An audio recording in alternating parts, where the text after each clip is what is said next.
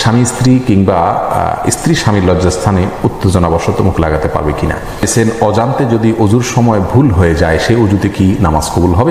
এমনি নাইম হাসান আকাশ জানতে চেয়েছেন, অজান্তে যদি অজুর সময় ভুল হয়ে যায়, সেই অজুতে কি নামাজ কবুল হবে?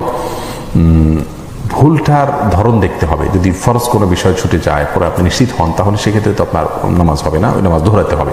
আর যদি অন্য কোনো ছোটোখাটো ভুল হয়, তাহলে কোনো অসুবিধা নেই।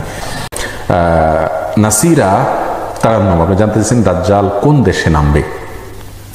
দেখুন দাজ্জাল পূর্ব দিক থেকে তার ইয়ে হবে আপনার আবির্ভাব হবে।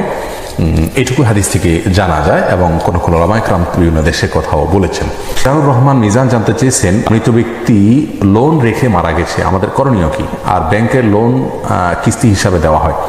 মৃত ব্যক্তি লোন লোন রেখে মারা গেলে তার যদি সম্পদ থাকে, সেই সম্পদ থেকে তার লোন পরিশোধ করার ব্যবস্থা করতে হবে। যদি তিনি কোনো সম্পদ লোন পরিশোধ করার মতো রেখে না যান, তাহলে সেক্ষেত্রে যা রেখে গেছেন সেগুলো দেওয়ার পরে উদ্বৃত্ত যে লোনটা আছে, সেগুলো ওয়ারিশদের সামর্থ্য থাকলে তারা তার পক্ষ থেকে পরিশোধ করবেন। আর যদি সামর্থ্য না থাকে, পরিশোধ করবে বলতে করাটা তাদের জন্য জরুরি নয়, করাটা তাদের জন্য উত্তম, উচিত। যদি তারা না করেন, তাহলে সেক্ষেত্রে তাদের কোনো গুণা গুণা হবে না। এর জন্য দায়ভার সংশ্লিষ্ট ব্যক্তিকে বহন করতে হবে। যদি আপনি আড়ি দিয়ে প্রশ্ন করছেন আকিকের গোস্ত কয় ভাগ করতে হবে? কোনো নির্দিষ্ট ভাগ করা জরুরি নয়, তবে কোরআন করিম আল্লাহ সুমাতালা কোরবানি গোষ্ঠের ক্ষেত্রে যেটা বলেছেন, ফাকুল মিন হাওয়া থেমল কানে আওয়াল মহতাবা তোমরা নিজেরা খাও এবং সাধারণ যারা মানুষ কাছে চেয়ে বেড়ায় না, তাদেরকে দাও। আবার যারা অভাবী গরিব মানুষ, মানুষের কাছে চায়, বাধ্য হয়, তাদেরকেও দাও। অর্থাৎ নিজেরা খাওয়া আত্মীয় স্বজনকে দান করো, গরিবকে দান করো, এরকম তিন ভাগে ভাগ করা মুস্তাহাব। লিজা সামিনা, আপনি জানতে চেয়েছেন শুধু ঘরোয়াভাবে বিবাহ বার্ষিকী পালন করা যাবে কিনা। স্বামী স্ত্রী মিলে যদি ওই দিন উপলক্ষে বিশেষ কিছু করেন, সেটাকেও কোনো নিয়মিত আমল না বানাইয়া হঠাৎ মনে হলো তারা বিশেষ কিছু আনন্দ নিজেদের মধ্যে করলেন, হতে পারে। কিন্তু এটাকে সিস্টেম বানিয়ে নেওয়া, অনুষ্ঠান করা, এটি কোনো মুসলিমের জন্য উচিত নয়। যেহেতু এটি বিজাতিদের কালচার অন্য ধর্মের মানুষের কালচার আমাদের নিজস্ব কালচার এবং সংস্কৃতি রয়েছে, সেই দিকটাতেই আমাদের অনুসরণ করা উচিত।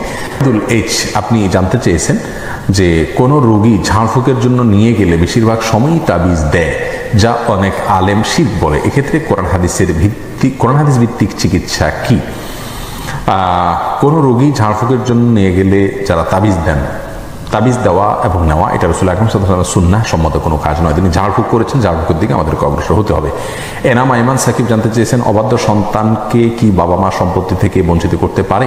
না, সম্পত্তি থেকে বঞ্চিত করার কোনো অধিকার নাই, এটা তাদের জন্মসূত্রে অধিকার। মা বাবা অবাধ্য, সন্তান অবাধ্য হলে তাদের গুনাহ যাত্রা বহন করবেন। কিন্তু তাই বলে মা বাবা তাদেরকে বাধ্য করতে পারবেন না বঞ্চিত করতে পারবেন না। এটা না জায়েজ। আমাদের সমাজে প্রচলিত আইনে হয়তো এটা রয়েছে তেজ্যপত্র করা, ইসলাম এটা জায়েজ নাই। এসআই লাবিব মজুমদার জানতেছেন জেনা থেকে বাঁচার উপায় কি? দেখুন, জেনা থেকে বাঁচার উপায় হলো জেনার কাছাকাছি না যাওয়া। কাছাকাছি না যাওয়া। যার সাথে কথা বললে চ্যাট করলে ফ্রেন্ড লিস্টে থাকলে, জেনার দিকে আহ্বান হতে পারে অবসর হতে পারেন সেখান থেকে দূরে থাকতে হবে। এটা হলো সবচেয়ে বড় বিষয়। মোত্তাকিদের সঙ্গে থাকতে হবে। এমনি মিরাজ হোসেন জানতে চেয়েছেন, বিয়ের দেন মোহর বাকি রাখা যাবে কিনা? যাবে। হারাম হবে না। অনেকে মনে করেন যে বাকি রাখলে স্ত্রী হালাল হবে না। বিষয়টা সেরকম না। তবে হ্যাঁ স্ত্রী বিয়ের রাতে বাসর রাতে স্বামীকে মহারণা দিতে বাধ্য করতে পারেন। সে অধিকার স্ত্রীর আছে। কিন্তু যদি প্রথমবার স্ত্রী বাধ্য না করেন, তাহলে পরবর্তীতে আর স্ত্রী তাকে মহারণা মানে তৎক্ষণাৎ পরিবেশ পরিশোধ করার জন্য বাধ্য করতে পারেন না। রেজওয়ানুর রহমান হৃদয় জানতে চেয়েছেন, স্বামী, স্ত্রী কিংবা স্ত্রী স্বামীর লজ্জাস্থানে উত্তেজনাবশত মুখ লাগাতে পারবে কিনা?